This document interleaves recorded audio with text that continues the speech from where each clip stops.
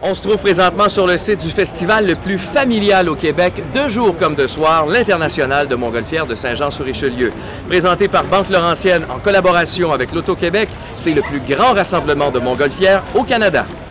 125 montgolfières, dont 15 formes spéciales, s'envolent deux fois par jour, si les conditions le permettent, durant les neuf jours de l'événement, à 6 heures le matin depuis les parcs de la ville et à 18 heures du site de l'événement.